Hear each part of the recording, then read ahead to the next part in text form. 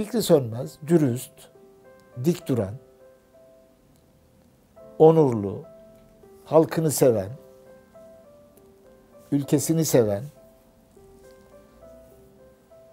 ender insanlardan birisiydi. Mücadele edilecek yerde mücadele eden, seven, sevgiyi kavganın önünde tutan ama kavgaya sıra geldiğinde kavga etmeyi de bilen bir insandı. O şartlarda rantı bir şekilde bertaraf ettiği için Terzi Fikri'nin yaptığını şu an hiçbir belediye başkanı kolay kolay yapamaz.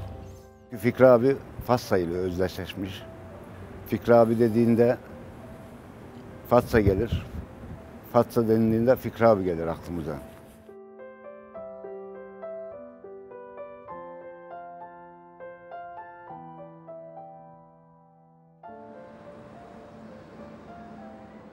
Doğu Karadeniz bölgesinde Ordu'ya 40 kilometre, Samsun'a 110 kilometre mesafede yer alan Fatsa, bölge ekonomisine yön veren önemli ticari merkezlerden biri olarak kabul edilir. Fatsa, Kafkas göçleri nedeniyle 1800'lü yıllarda Gürcü kökenli çok sayıda büyük aileyi bünyesine kabul etti. Ama eritemedi. Etnik kimliklerini vurgularken sıklıkla şunu dile getirdiler. Eğer Gürcü olmasaydım mahcup olurdum. Mahcup olmamak için hep Gürcü kalanlardan biri de Fikri Sönmez'di. Cumhuriyet Halk Partili Belediye Başkanı Nazmiye Komitoğlu 1979'da vefat edince 14 Ekim'de Fatsa'da belediye seçimleri yenilendi.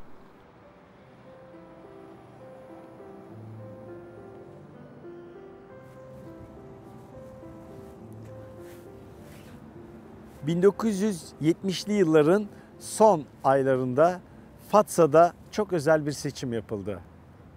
Bağımsız aday Fikri Sönmez diğer bütün partilerin adaylarını ikiye katlayarak bir oy patlamasıyla seçimi kazandı. Görev süresi ise yaz aylarında yapılan nokta operasyonuna kadar sürdü. Sonra tutukluluk, sonra 12 Eylül ve bir daha cezaevinden çıkamadı.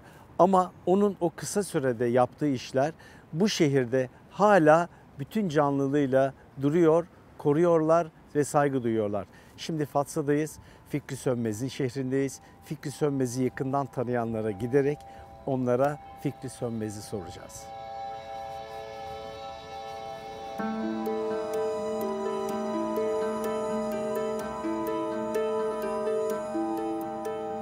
Babanla ilk olarak aklında kalan hangi kareler, sahneler var? Ne zaman hatırladın, gördün ve e, kaydettin? Bize en baştan anlatır mısın onu? Ya ben babamdan işte 66 doğumluyum. 86 arada 72 yok. Toplam 10 sene 12 sene Bir hayatın oldu. bir hayatım var başka yok.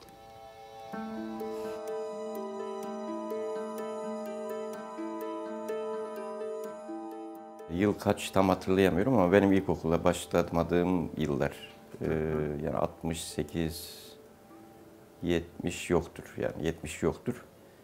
E, o yıllarda bisikletiyle gelip gidişini hatırlıyorum. Yani iş yeriyle ev arasında. Yani ilk kafamdaki fotoğraf o. İlk hatırladım. 1938'de Fatsa'nın Kabakdağ köyünde doğan Fikri Sönmez, hayata terzi çırağı olarak başladı. Sonra ilçenin en ünlü erkek terzisi haline geldi. Sadece elbise dikmiyor, ülkesi için gelecek hayalleri de kuruyordu. 1960'ların yeni çekim merkezi Türkiye İşçi Partisi'nin Fatsa'daki bayrağı oldu. 1968'de ise Dev Genç Hareketi'nin içinde yer alacaktı. Fatsa, dev genç liderlerinden Ziya Yılmaz ve Ertan Sarıhan'ın da doğum yeriydi. Büyük şehirlerde, üniversitelerde filizlenen gençlik hareketleri kadar Fatsa ve Doğu Karadeniz'de ilgi çekici bir merkez görünümü veriyordu. 1971'de Maltepe askeri cezaevinden firar eden Çayan ve arkadaşları Doğu Karadeniz'e geldiklerinde irtibatlarından biri de Terzi Fikri'ydi. 1972 Mart'ında meydana gelen Kızıldere köyündeki katliamda öldürülen 10 dev gençli arasında Mahir Çayan'la birlikte Fatsalı Nihat Yılmaz ve Ertan Saruhan'la Ünyeli Ahmet Atasoy da vardı. 12 Mart 1971 muhtırası döneminde Fikri Sönmez de payına düşeni alacaktı. İlk hatırladım bizim 72'deki o ara, ara ihtilaldeki evin baskını. İşte babamı aşağı indirilirken eski ev vardı bizim merdivenlerden. Biz de uyandık. Bir göz göze gelmem var. Camdan bir ara baktığımda dışarı oradan uzun namlulu silahların e, eve dönük olduğunu, eve geldiklerini hatırlıyorum. Oradan işte babamın götürülüşünü, işte merdivenden aşağı inmişti, inerken baktığımı hatırlıyorum. Yani onlar çok net. Gittiğinde ilkokul 3'teydim. Dönüşünde ilkokul 5. sınıf öğrencisiydim. 1974'te ilan edilen af yasasıyla Fikri Sönmez de 2 yıllık hapisten sonra Fatsa'ya döndü. Terzihanesi yeniden eski canlılığına kavuştu. Bir yandan hatırlı müşterileri gelip elbise siparişleri verirlerken, diğer yandan ilçenin gençleri bir şeyler öğrenmek için dükkanın eşiğini aşındırıyorlardı. 1970'li yıllarda Fatsa Gençliği'nin uğrak merkezi bir başka anlatımla da akademi olarak tanımlanan Terzi Fikri'nin terzihanesi arkamdaki binanın en alt katındaydı. liseli yıllarda Fikri abinin terzahanesine gidip gelmeye başladık. O zamanki Fatsalı solcu, sola meyilli gençler gibi. Arka prova odası bir e, akademi gibiydi. Tartışmalar yapılırdı. Güncele dair ve teorik sorunlar konuşulurdu. Ve Fatsa'nın en iyi terzisi olduğu için oraya varlıklı insanlar da gelirdi daha çok. Ve onların da düşünceleri, fikirleri o prova odasında e, serbestçe konuşulurdu, tartışılırdı. Fatsa'yı 11 mahalleye böldük. 11 mahalleyi kendi içerisinde birbiriyle entegre hale getirdik. 11 mahallenin e, seçimde aktif e, birinci derecede görev alacak e, komiteler oluşturduk 11 mahallede. Ki bizim bu komiteler zaten belediye seçimlerini aldıktan sonra mahalle komitelerine dönüştü. Biz onun adımlarını seçimden önce başlattık. 11 mahalleye görüştük ve o her mahallede bir komite oluştu. Halk komitelerinin başına gelen insanlar, görevlendirilen insanlar e, devrimci yolcu değildi. Her siyasi partiden, her düşünceden insanlar mahalle komiteleri oluşturuldu. İşte o dönemde sıkıntılar vardı. O sıkıntıları gidermesi için herkesin belediyenin kapısında olması gerekmiyordu. Vatandaş kendi mahallesindeki komitenin başına ihtiyacını, nelerin yapılması, ne istiyorsa belediyeden, yoldur, sudur, temizliktir, işte e, o dönemki e, kıtlığı çekilen, sıkıntısız çekilen gıda ürünleridir, yakıttır vesaire. Ona söyleniyordu. Onun aracılığıyla oraya ulaşıyordu.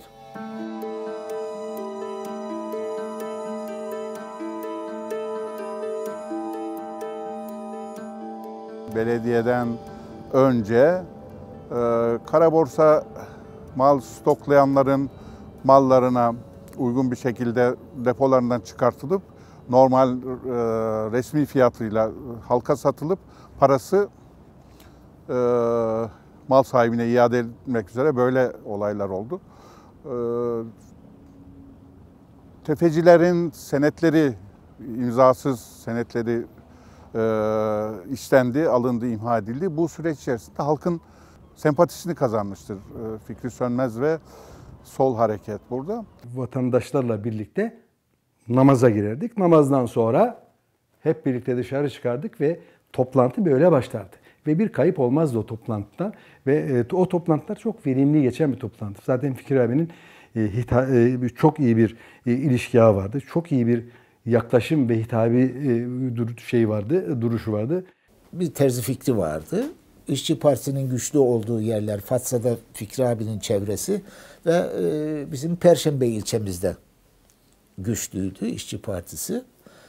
E, İşçi Partisi'nin söylemlerine de Aybar'ın söylemlerine, Çetin Altan'ın yazılarına, Behice Bora'nın söylemlerine, yazılarına ciddi ölçüde o günkü entelektüel olan, okuyan, yazan insanlar ciddi ilgi duyuyordu.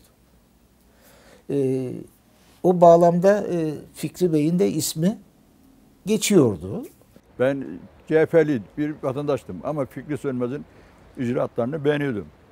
Konuşmalarını, kahve toplantıları yapıyordu. Konferanslar veriyordu. halk, halktan. Ee, ben e, sosyal demokrat CHP'liydim ama bunun e, şeyde eklenerek bunu Fikri Bey'e sempati duyan Uyu'nun Adalet Partileri de vardı, MHP'liler de vardı. Çok vatandaş oy veriyordu, benimsiyordu yani. Yaptığı, yapacağı icraatları açık, açıklıyordu öyle şeyle değil yani.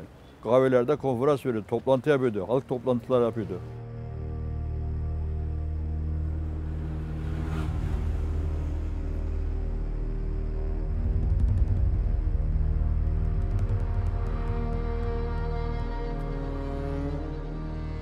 Fatsa'nın ilk ve son bağımsız belediye başkanı Fikri Sönmez adaylığını açıkladıktan sonra 3 kez suikast girişimine uğradı. En ağırı bu şimdi bulunduğum evin önünde 3 kurşun atıldı ve ikisi vücuduna isabet etti. O ise buradan aşağıya atlayarak e, bu saldırganlardan kurtulmayı başardı.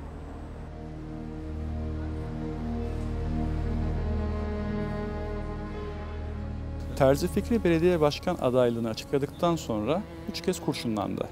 Birincisi evinin önünde, ikincisi çınar ağacının merkezde orada, üçüncüsü ise dükkanına çok yakın bir yerde.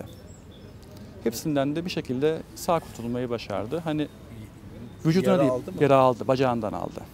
O dönemi anlatanlardan bir tanesinin ifadesine bakarsak, eee, bu suikastlerden bir tanesine Milli Selamet Partili bir milletvekilinin adı karıştı. 1970'li yıllarda Bülent Ecevit'in CHP'si üst üste iki seçimden birinci parti olarak çıkmıştı. Türkiye hızla politikleşiyordu. Sosyalist sol bağımsız hareket etme gayreti içindeydi. 1979'da Fatsa'nın CHP'li belediye başkanı Nazmiye Komitoğlu vefat edince devrimci yol hareketi için böylesi bir imkan ortaya çıktı. İlçedeki en tanınmış devrimci olan Fikri Sönmez, bağımsız aday olarak katıldığı 14 Ekim 1979 seçimlerinden zaferle çıkacaktı. Sönmez, en büyük iki parti adaylarının toplamından fazla oy aldı. Belediyede ilk toplantı daire müdürleriyle, amirleriyle yapılan bir toplantıda herkes şunu bekliyor. Biz görevlerimizden alınacağız. Yeni kadrolar e, yerleştirilecek. Bu beklenti içerisinde herkes de kabullenmiş. Fikri Sönmez şöyle başladı söze. Hiçbiriniz görevinizin görevinizden ayrılmayacaksınız. Görevinizden görevinizin başında olacaksınız. Ama bizim tempomuza, belediyecilik anlayışımıza eğer ayak uydurursanız hiçbir sorun olmayacak aramızda ve bu sonuna kadar da böyle devam etti.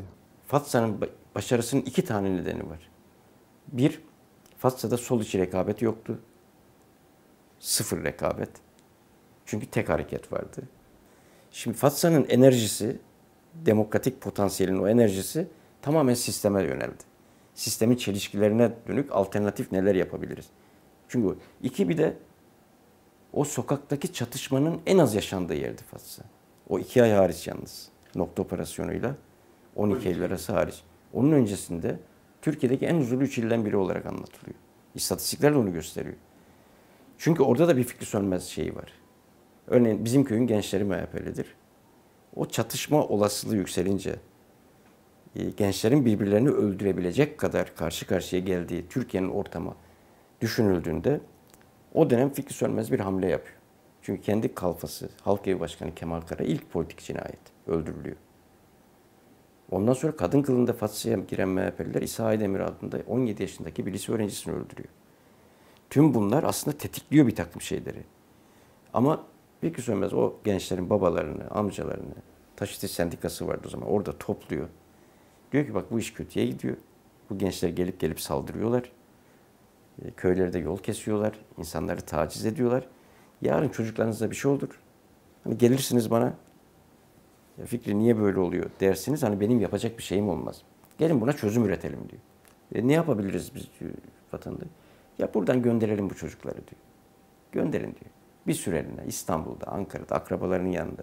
Hatta iş bulamıyorlarsa ben de yardımcı olayım falan filan diyor. İkna ediyor onları ve gerçekten o aileler çocuklarını gönderiyor büyük çoğunlukla. bir şey yapılacak, istimlak yapılacak. Meclis, belediye meclisi onay vermiyor. Terzi Fikri çözüm olarak belediyede, belediye meclisindeki konuşmaları belediye hoparlöründen verdi. Yani konuşmaları herkes duyuyordu. Ha canlı yayın yaptı. Aynen öyle. Ondan sonra kimse sesini çıkaramadı zaten.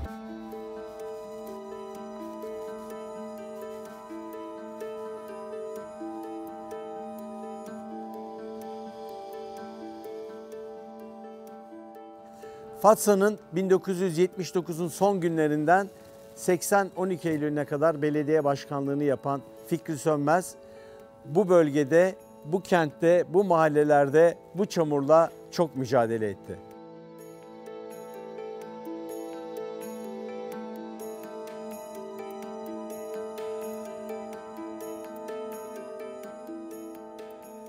Terzi fikri geldiğinde o yörenin halkı bizim böyle böyle bir yol sorunumuz var. Çamur her taraf. Evimize girdiğimizde bataklıktan çıkmış gibi oluyoruz.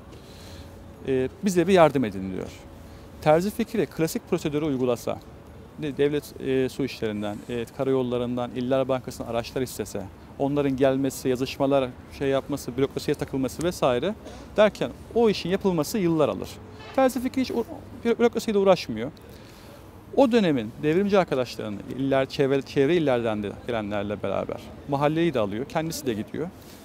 O yolu kazmayla, kürekle mahalleli ve halk 4 haftada yapıyor. Yıllar alan şey bir ayda bitiyor. Ve Fatsa yeni bir caddeye kavuşmuş oluyor. Fikri Sönmez temiz bir adamıydı benim bir küçüklüğümden beri. Terziydi ve dürüsttü. Kimsenin hakkını yemezdi. Fassa'nın yollarını da güzel güzel açtı. Çok hizmet oldu diyeyim sana. Terzi Fikri deyince aklımda mükemmel bir insan var. Dört dörtlük bir insan var. Halkla iç, iç, iç içe olan bir insan var.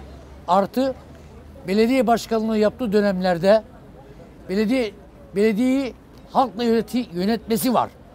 Artı on, e, imar açılmayan yolları ve önceki belediye başkanlarının yolu açı, açamadığı yolları bunun aşması var. Ve kişiliği mükemmel olarak kişiliği var. Ve artı e, denize bakan yolları bunun aşması var. Eski adıyla Mandıra, şimdiki adıyla Evgaf olarak geçen yerin ana yollarını aşmasıyla güzelliği var.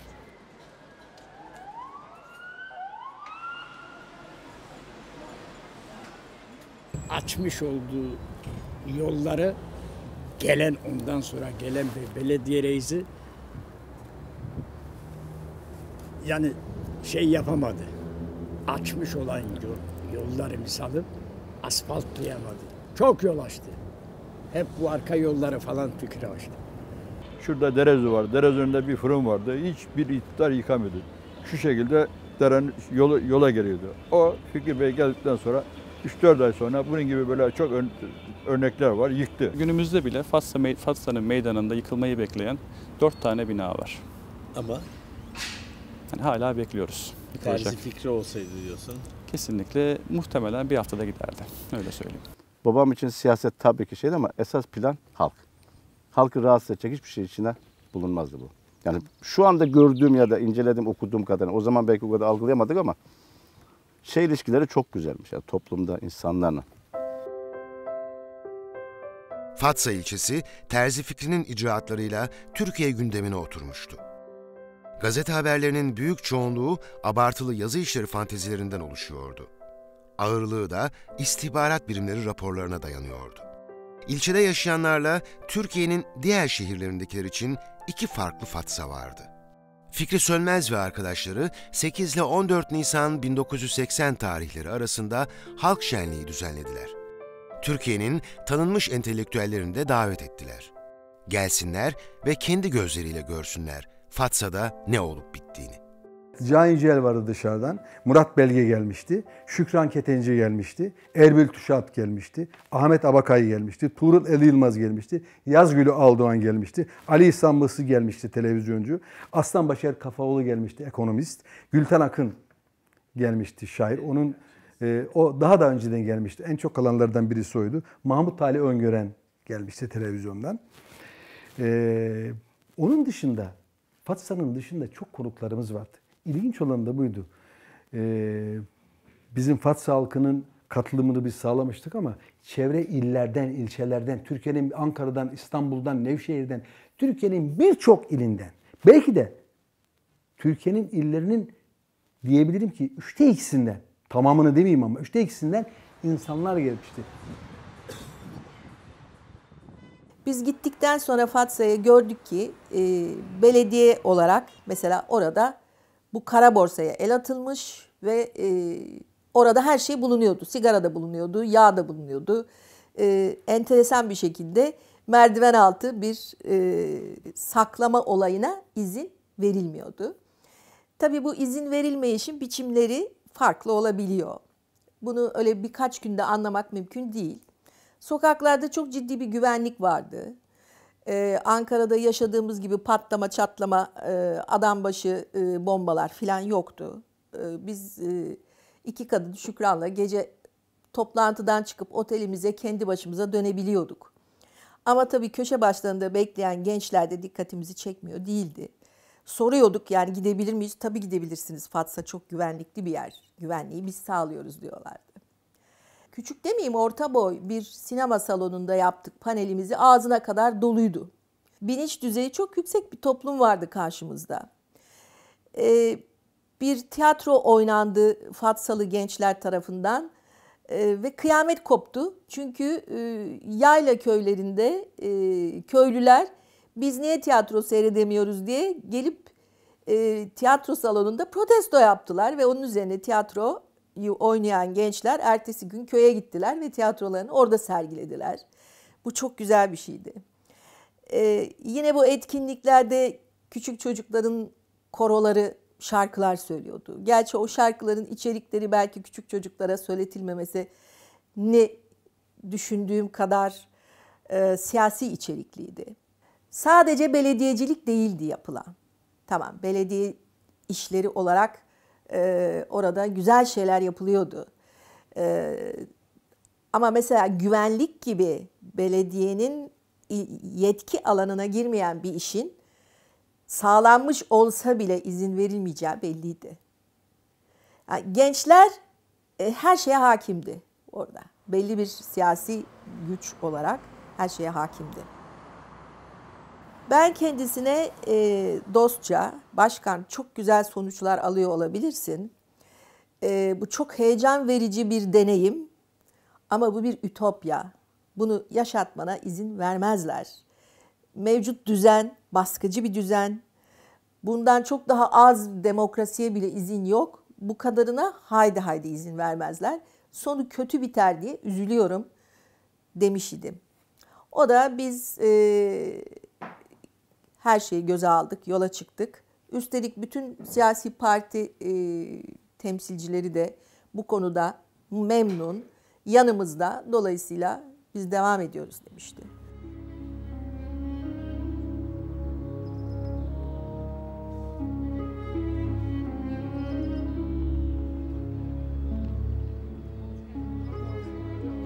...1980 yılında yapılan nokta operasyonu öncesinde gazetelerde, televizyonlarda, akademilerde öyle yorumlar, öyle haberler, öyle tespitler yapıldı ki bugün baktığınız zaman gülebilirsiniz ama o gün dramatikti.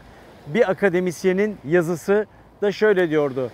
Terzi Fikri ve arkadaşları Fatsa'da farklı bir yapı uyguluyorlar. Bu giderek bağımsız devlete dönüşebilir ve orası Sovyetler Birliği tarafından çıkarma yapılacak en tehlikeli bölge olarak bulunuyor. Türk Silahlı Kuvvetleri 11 Temmuz nokta operasyonu sırasında tam 3 hücum bot, bir askeri tabur, 3 jandarma birliği ve polislerle birlikte sahici bir çıkartma harekatı yaptı. O dönemde şehirler yoktu. Katliamlar vardı. Maraş katliamı, Tokat katliamı, Çorum katliamı gibi. Bütün katliamlara karşın Başbakan Süleyman Demirel, bana sağcılar cinayet işliyor dedirtemezsiniz gibi demeçler veriyordu. Sonra da ekliyordu. Çorum'u bırakın, Fatsa'ya bakın. Fatsa'da o tarihte henüz siyasi cinayetler başlamamıştı. Reşat Akkaya'nın Ordu valiliğine atanmasıyla bu eksiklik de giderildi. Akkaya, Ankara Emniyet Müdürüyken taraflı davrandığı için sıkı yönetim komutanınca görevden alındıktan sonra Demirel onu orduya vali olarak atadı. Fatsa'da o tarihte sadece 16 polis memurunun bulunduğu bir karakol vardı. Reşat Akkaya devletten güvenlik kuvveti istemek yerine aşırı sağcı parti merkezinden silah ve militan isteğinde bulunmayı yeğledi.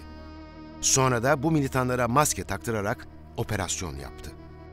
Bu operasyonların en büyüğü ise 11 Temmuz 1980 tarihinde yapıldı.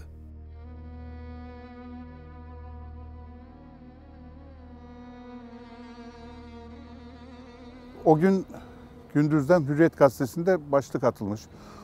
Fatsa'da nokta operasyonu başarıyla devam ediyor. Henüz bir şey yok Fatsa'da. Nokta operasyonu lider durumunda önder kadroların toparlandığı bir operasyon. Ve e, halkın geneli açısından bir sorun olmadığı konusunda bir fikir birliğine varıldı. Herkesin ama işte yasak yayındı vesaire onların e, saklanması konusunda halk telefonlarla vesaire bilgilendiriliyor telefon zinciriyle. Gece saat 3'te e, oraya geldiğimde barikatın kaldırılmış olduğunu gördüm. Barikatlar kalkmıştı. Şöyle diyeyim Fatsa'da evlerde erkeklerin hepsi hemen hemen evlerini terk etmişlerdi. Yani kadınlar kalmıştı diyebilirim. Yüzlerce tank, e, panzer vesaire ve 5000 civarında bir askerle e, o günkü 16 bin küsürlü nüfusu olan Fatsa'ya bir operasyon te- e, tertip ediliyor. Gece geç saatte operasyon kuvvetleri harekete geçince eve geliyor arkadaşlar. Annem kapıyı açıyor sanırım. Ondan sonra babam geliyor. Senin de bizimle gelmen gerekiyor. Çünkü Akkaya'nın hedefindesin. Hani öldürülme riskin var. En azından bu ilk günlerde e, bir güvenliğini sağlayalım. E, durum normalleşince kendin şeye teslim olursun ya da ona benzer şeyler konuşuyorlar. Tam ayrıntıyı onlar bilirler. Ee, babam gitmek istemiyor tabii. Yani gidemeyeceğini söylüyor. Ee, o daha çok seçilmiş bir başkan olduğunu ve böyle bir durumda hani Fatsa halkının gözünde kaçmış bir başkan olmak gibi bir psikolojik e, durum olduğunu ve operasyonu evde karşılaması gerektiğini ne olacaksa başına ne gelecekse de buna da e, hazır olmak gerektiğini anlatmaya çalışıyor. Orada tam anlaşamıyorlar arkadaşlar herhalde. Sonuçta evden çıkıyor. Fatsa'nın Çullu mevkinde böyle Fatsa'yı tepeden gören e, bayağı bir üst noktada bir ev. Babam orada tutuklanıyor. Yani gözaltına alınıyor o evde. Hatta oranın bir esprisi var. Ee, evin sahibi öyle anlatmıştı. Ee, arkadaşlar gitti diyor. Biraz epeyce baban zor ikna etti ama sonuçta gittikten sonra e, polisler geldi. Kapıyı çaldılar. Her eve giriyorlardı bütün evlere sırasıyla. Eve girince Fatsalı polisler, Fatsa'da görev yapan polisler de vardı. Onlar tanıdılar babanı. Ama şaşırdılar ve çıktılar gittiler dedi. Böyle anlattı. Yani ilk girişte almadılar. Ondan sonra gittiler. Ben Fikri abiye sordum dedi. Ee, yani ne oluyor? Şimdi gelirler onlar demiş falan. Ee, ve gelmişler.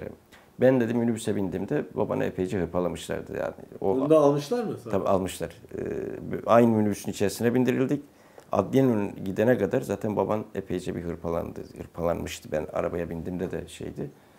Ee, o adliyenin önünde de işte orada işte alay komutanı, garnizon komutanı, kaymakam vesaire ne varsa artık devlet erkanı orada. İşte orada babamın bir e, müdahalesi oluyor. Yani hala belediye başkanı olduğunu hatırlatıyor oradakilere. Ve gördüğü her muameleden dolayı da kendilerinin sorumlu olacağını e, ifade ediyor. Ve onun üzerine orada sanırım alay komutanı e, polise değil askere teslim ediyor. Da sorgu soruda yaptı. Hatta bir defasında vali geliyor almak için. Reşat Akkaya. Reşat Akkaya geliyor. Onu orada mesela öyle yüksek tartışma oluyor ki o günün yüzbaşısı, işte oranın sorumlusu.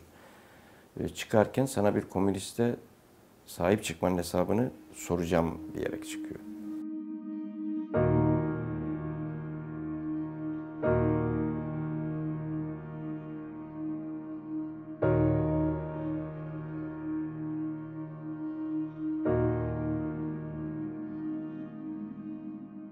11 Temmuz nokta operasyonu başlayınca değin Fatsa'da benim bildiğim 3 tane öldürme olayı var. Onların da siyasi nitelikli olup olmadığı tartışılabilir. Ama nokta operasyonu başlayıp 11 Temmuz'da 12 Eylül tarihleri arasındaki aylık süreçte 93 tane öldürme olayı gerçekleşti. Sağından solundan. Bu herhalde Fatsa'nın niye özel olarak seçildiğinin kanıtı olan rakamlar.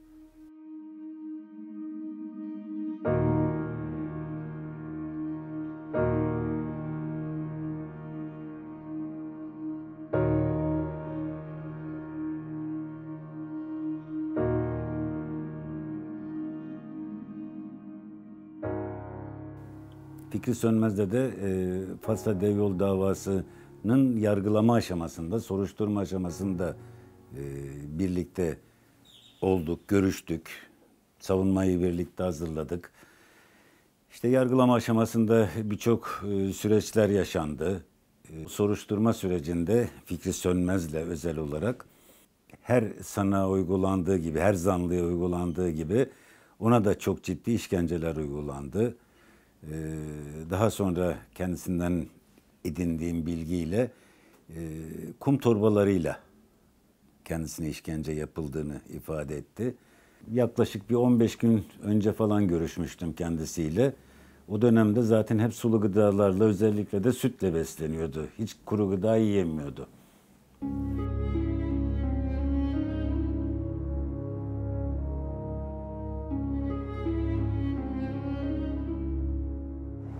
Daha önce de bir ara sıra rahatsızlanıyordu zaten. Beraber revire götürüp getiriyorduk. Ama o gece de rahatsızlandı. Kapıya vurduk. Şeyi asubaya çağırdık nöbetçi asubaya. Dedik böyle böyle. Sırtımıza aldık Fikri abiyi. Revire götürdük. Sen yanındaydın. Ben Başka yandım, ben götürdüm. vardı? Bir arkadaş daha vardı ismini unuttum. Onu da hatırlayabilirim ismini. İkimiz götürdük. Orada bir asteğmen doktor herhalde. Asker. E, hastaneye gitmesi lazım dedi. Fikri abi kabul etmedi. Ben dedi size güvenmiyorum. Benim arkadaşlarım da benimle beraber gelirse giderim dedi. Yoksa gitmem dedi. Yaklaşık 15 dakika sonra da Fikri abi can verdi. Revirde miydiniz? Revirdeydik evet. Sert bir cisimle veya yumrukla e, kişiye darp ederseniz onun izleri belli oluyor. Ama e, kum torbalarıyla darp ettiğinizde dıştan herhangi bir izi söz konusu değil ama iç organlar ciddi anlamda tahrip oluyor. Ki ölümünün nedeni de odur zaten. Bir buçuk sıraları falandı işte gece bir buçuk sıraları falandı. Onun öldüğünü duyduğumuz zaman ya bir şey oldu ya. Ya bir şey oldu. Yani o cezaevi yıkıldı yani resmen yıkıldı. Acımızı mazgallardan aldık. Evet. Kapılardan, mazgallar, duvarlardan aldık. Yani öyle insanlar biliyorum ben yanımda. Böyle kafasıyla duvarlara vurarak böyle isyan eden. Babam dedi rahatsızlanmış cezaevinde hastaneye kaldırılmış. Önemli bir şey yokmuş ama telefon geldi. Hani aileden gelebilirsiniz. Kendisi hastanede dediler dedi. Ben de o anda demişim ki dedeme, farkında değilim onu dedi mi? Yok be dedim şimdi babam ölmüştür. Cezaevinden öldüğü zaman haber gelir. Başka türlü haber gelmez dedi. Yani orada yattım ben biliyorum. Sulova civarlarında e, Ahmet Becioğlu'nun arabasını fark ettim. Fark ettik. Arabanın araba da binek bir arabaydı. Şöyle arkasında da tabutu şöyle koymuşlardı. Şöyle dik. Şöyle duruyordu tabut. Yani ölüm raporu yok. Teslim tutanağı yok. Herhangi bir şey yok. Orada yalnız o genç yaşta yani şimdi yapamam mesela o şeyleri. Babamı yani üstünü açarak baktığımı hatırlıyorum. Yani çünkü cezaevinde şimdi cenaze geliyor. Şimdi ne oldu babama? Mevzusu bizim için tamamen muğlak, karanlık bir olay. İşkencede mi öldü, ne de öldü yani nasıl? Ve çok temiz bir yüzü vardı yani böyle sanki gülen bir yüzü vardı. Ve gövdesi, bacakları gayet şeydi, hiçbir e, darp vesaire e, şeyini görmedim. Öyle açıp kapattığımızı hatırlıyorum.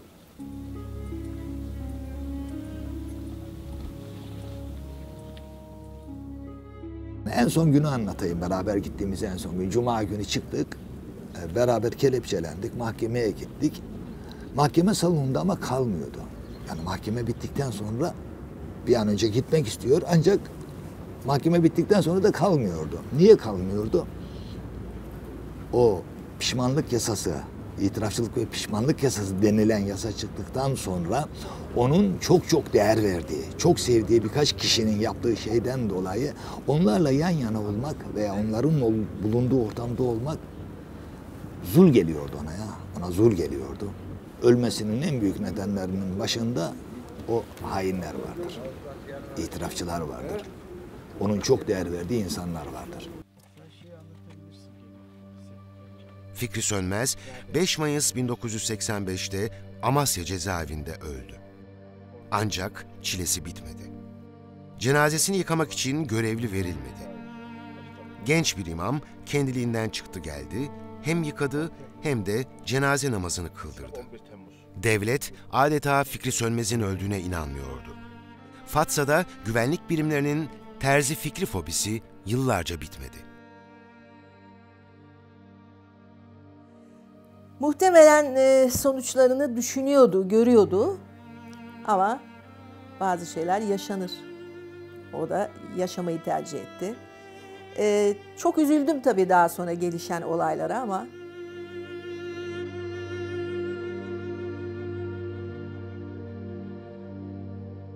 İlk e, anma törenleri gerçekten de çok engellenmeye çalışıldığı halde yine gittik yani. Yollarımız kesildi. Minibüsçülere tehdit edildi. Bizi götürecek olan araçlar engellendi. Orada şey kimliklerimiz alındı. Karakoldan gelin alın dendi. Sonra fişlendiklerini bir şeyler geldi. İşte cezaevinden çıkmış şey o, o zindanların işkencecileri, polisler geldi. Siz ne yapıyorsunuz? Akıllanmadınız mı? Bak sizi içeri alacaklar. Daha gitmeyin, böyle toplantılara katılmayın diye engellenmek istedik ama her yıl biz Fikri Sönmez'in anmasında onu saygıyla anmak için orada olduk bugüne kadar.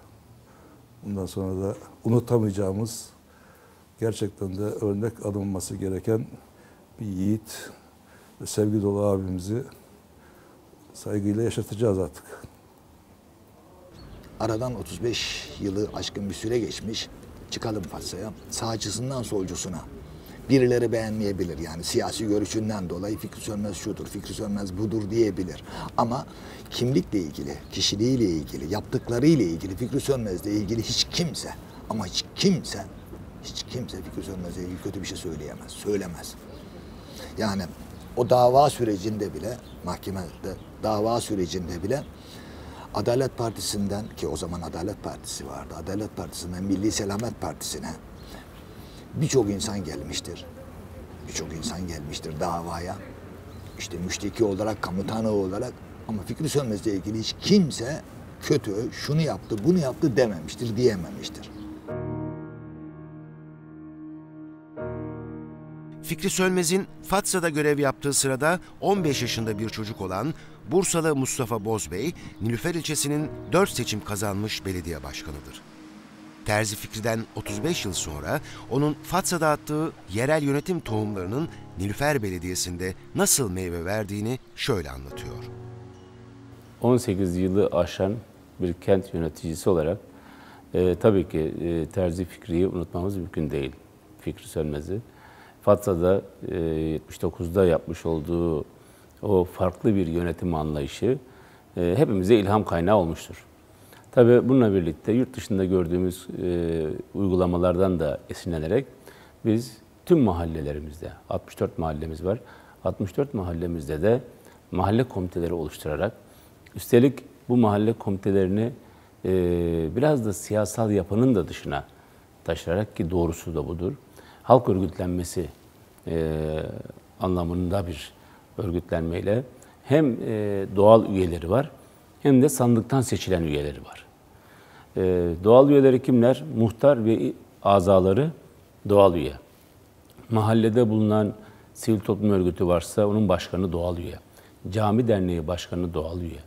Okul aile birliği başkanı doğal üye. Spor kulübü varsa spor kulübü başkanı da aynı şekilde doğal üye. Ya da demokratik kitle örgütü varsa orada onlar da doğal üye olarak e, mahalle komitesinde görev alabiliyorlar. Sorumluluk üstlenebiliyorlar. Onun yanında örneğin mahallede 20 sandık varsa son seçimde 20 sandıktan da her bir sandıktan olmak üzere birer kişi de seçiliyor. Bu kadar yıl sonra Terzi Fikri'nin oğlu olmak nasıl bir şey? Sende nasıl bir karşılığı var bunun? Şu anda çok iyi bir şey. Ama bir dönem işte o devletin baskısından falan bizi sevenler bile bize selam veremeyecek durumlardaydı yani bir ara. Yani karşı karşıya ama yolun karşısından geçerken bile aman görmeyelim gözünü kaçırın. Niye? O sevmediğinden değil. Onların üstündeki baskıdan, devletin baskısı. Ya bir döneme kadar zaten biz polis eşliğinde gezdik Fassa'da. Yani Nasıl? polis arabası arkamızda, genelde abime çok yaparlardı. Eve kadar gidene kadar rahatsız ederler. Dükkandaki giren müşteriye kimlik sorarlar. Yani ticaret yaptırmamak için, senden birini görüştürmemek için elinden gelen baskıyı 90'lara kadar o ilk, ilk o senede çok yaptılar. Kendi politik kimliğimle, kendi sosyal kimliğimle e, daha geriden e, takip ettim ve bu gölge gibi üstümde bir şey. Tabii bunun bir zorluğu var. O da şu, hayatınızı kendiniz belirleyemiyorsunuz. E, işte o sizi takip eden o üst kimlik, üst aidiyet de denebilir buna. Onun değerlerini bilmek zorundasınız. Onun standartlarına göre yaşam kurmak zorundasınız. İstediğiniz gibi oturup kalkamıyorsunuz. Gençlik yıllarım da öyle geçti yani. İşte Fikri Sönmez'le genellikle hep cezaevi koşullarında ve duruşma salonlarında çok e, nadiren bir araya gelebilme koşulumuz vardı zaten. E, duruşma salonlarında çok az, cezaevinde daha fazla karşılıklı görüşmelerimiz oldu. İlişkilerimizin büyük çoğunluğu da bu süre e, minvalde devam etti. E, son derece saygılı, son derece iyi niyetli, hala o koşullarda bile e, Türkiye'yi aydınlık günlerin beklediğini ifade edebilen son derece iyi niyetli bir insandı. Fikri Sönmez uzun süren politik mücadelesini kısacık belediye başkanlığıyla taçlandırdı. Bütün ideallerini doğup büyüdüğü Fatsa'da hayata geçirdi. İcraatında kendisi özetledi. Ne yaptımsa halkım için halkımla birlikte yaptım. Bütün hayatını mezar taşına sığdırdı. Küçük Karadeniz ilçesinin nüfus kütüğüne büyük bir tarih yazdı. Fatsa'nın soyadı Terzi Fikri. Güneşin al